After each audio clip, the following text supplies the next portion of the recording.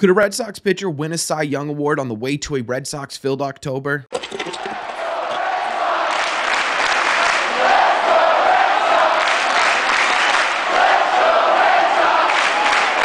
What is going on, everybody? Welcome back to Red Seat Radio. My name is Corbin, and what better way to kick off the 2024 regular season than with the hottest Red Sox takes known to man?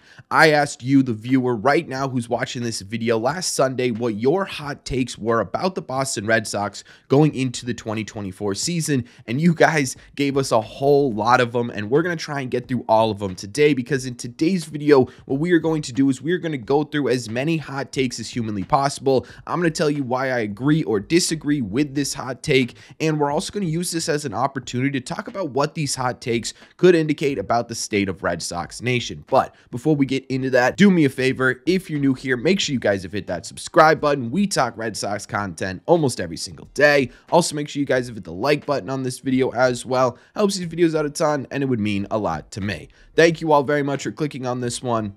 Let's get into it. So what I did is I asked this exact question on YouTube and Twitter, and you guys gave us a ton of different responses. I'm not going to be able to get to all of them in this video, but I'm going to try my best to mix and match a little bit. We're going to start over on Twitter from Casas Defender, where he says, we actually had pitching. We just had an awful pitching coach. And honestly, so far, it's pretty hard to disagree with this one. How many times over the last couple of years have we said this exact sentence? Blank has the potential to take a next step forward. We just need to see him get get there. Whether you're talking about Tanner Houck, Garrett Whitlock, or Kutter Crawford, and even guys like Pivetta and Bello, I think that exact sentence has been said about just about everyone in this Red Sox rotation right now. And for a while, it felt like they just never were going to take that next step. Maybe it was just the Red Sox needed a different approach, and maybe that guy is Andrew Bailey. Maybe he's the right fit for this team specifically. And so far, it's really hard to argue with the results you're getting on the field. So as of right now, I think I'm going to to agree with this one, but in my opinion, the most important thing we need to see from this rotation going forward is consistency. They have the talent. Can they do it over 162 games? The next one, I'm moving over to YouTube here, and this one's coming from Scott, who says that Roman Anthony gets the call up after the All Star break and slashes 300, 400, and 500 in the second half of the year. Listen, I love Roman Anthony as the prospect, but I'm going to have to disagree here, and there's a reason for that. It's because the Red Sox have a bit of a luxury right now with their timeline on outfielders, specifically with guys like Anthony and Bleis. Because of the additions of Tyler O'Neill and Ceddanne Rafaela, they can afford to be a bit more patient than they normally would with a guy like Roman Anthony and allow him to truly develop at his own pace. Because of this, I don't think we see Roman Anthony in 2024, especially if, Ceddanne and Tyler O'Neill continue to produce at the plate for the Boston Red Sox. Now, there is a possibility that he just flat out is ready for Major League Baseball, but I think it's going to be in the later half of the year, possibly at best case scenario, in my opinion, would be September call ups. And I think we see him more in 2025. So while I love Roman Anthony, the prospect, I do think at some point he could have the potential to have a slash line like that. I don't think it's this season, and I don't think it's through for an entire half. Going back to Twitter here, Chris says, We're going to lead the league in stolen bases. I'm going to agree. I think you look at what the Red Sox have right now, and maybe they don't lead the entire Major League Baseball, but the American League, you've got burners on the base pass right now. Jarren Duran, Tyler O'Neill, and Ceddanne Rafaela are all very legitimate stolen base threats for at least 20 stolen bases this season. You've got sort of underrated speed guys like Story and Connor Wong, who could be a bit of a threat on the base pass. The Red Sox are trying to be more athletic. They are trying to be a bigger threat on the base pass as well as in the batter's box. And I think that ends up working out pretty well for them. So I'm going to agree with this one and say maybe not all of Major League Baseball. I'm going to assume he meant the American League. And I'm going to absolutely agree with this. This one's from Sox Content on YouTube. And he says Casas will finish with 30 home runs and 100 walks. Now, last year for Triston Casas, he played 132 games. He had 25 home runs and 70 stolen bases. If he plays around the similar amount here, that's an addition of five home runs and 30 walks. In my opinion, I think 30 home runs is absolutely achievable for Triston Casas.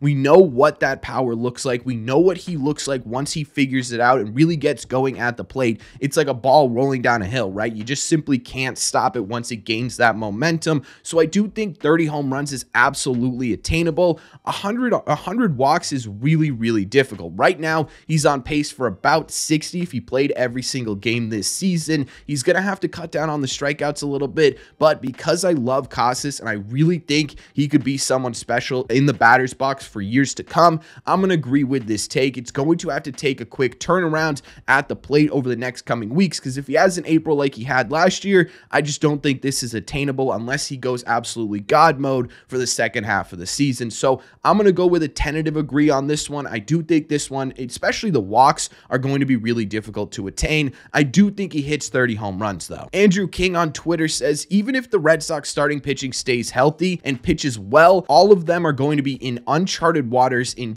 innings pitched come September, and they will need help down the stretch. 100% agree with this. This is a big reason why the addition of Lucas Giolito was so important at the beginning of the year, right? Because there were so many question marks as to where these innings were going to come from. The highest amount of innings last year, I believe, was 157 from Brayan Bello when we saw what he looked like in the back half of that 157. It is absolutely going to be a flat out mystery what this team's going to look like from this starting rotation come August and September, even if they're pitching as well as they're pitching right now because it's just never happened for this rotation before outside of maybe Nick Pivetta. It's going to be entirely unknown and they probably will need help come September. But what I will say is that I do think Craig Breslow will absolutely be aggressive come the trade deadline if the Red Sox are still involved. If they're two or three games out of a wild card spot or in a wild card spot or somehow by some miracle they're leading the division,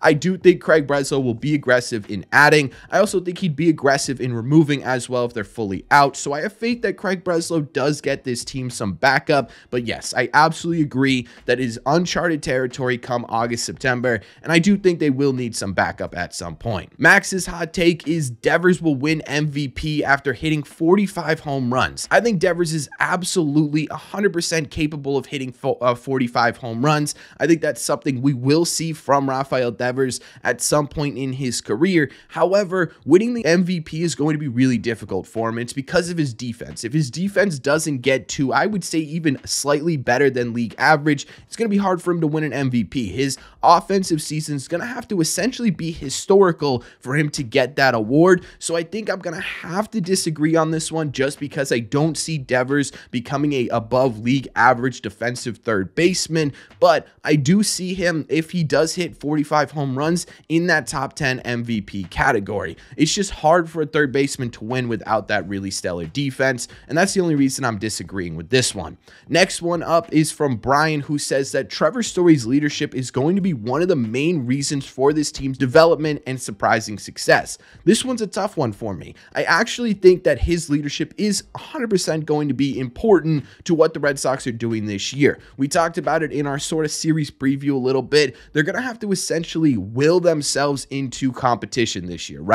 They're not the most talented team on paper. They're going to have to work as one individual unit, and Trevor Story's leadership is going to be a big part of that. But I also think what's going to be even bigger is the fact that his leadership's also going to need to translate to on field success. If Trevor Story has a season at the plate like he did last year, it's going to be tough for him to be the true leader of this clubhouse because he's just not getting it done on the field. I think this is sort of a hand in hand situation here. I'm going to agree tentatively with this one but with the caveat to be a true leader on the Boston Red Sox, you're going to also need to be able to back that up on the field, which I do think Trevor Story's fully capable of. We just need to see it happen. Red Sox win on YouTube. Nick Pivetta, Cy Young. Short, simple, to the point. I absolutely love this. This is just a flat out blanket statement. I'm a big fan of this one. And I do think Nick Pivetta is going to have a career year, mostly fueled by the fact that his future's on the line right now. If he pitches really well in 2024, he can cement himself as a big league starter and earn big league starter money. If he can't, well, then there's going to be some questions as to whether or not he's sort of a bulk innings bullpen guy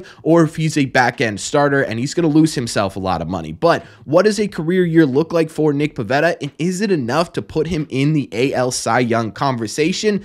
That's going to be a bit difficult in my opinion, right? Because you've got other pitchers in the AL like Corbin Burnes, Tarik Skubal, Justin Verlander's out there somewhere. Whoever the Tampa Bay Rays pull out of thin air this year, there's going to be a whole lot of truly established aces in the American League over the 2024 season. Kind of like I said with Devers, it's going to have to take a really, really special year from Nick Pivetta. Is it possible? Yes. Do I think it's likely? Absolutely not. So I'm going to say disagree on this one one, but I do think we see a career year from Nick Pivetta because of that incentive that he's playing for his future. Just a couple more submissions here. I don't want this video ending up being a 30 minute long episode. We got a lot of submissions about Tyler O'Neill in this question, mostly because I asked it after basically right after he hit that opening day home run, but still I do think this is an important one to talk about, specifically from Chef on Twitter, who says that Tyler O'Neill was the right-handed bat we've been calling for all offseason. Him, Ceddanne, and Jarren Duran are going to be the most athletic outfield in the league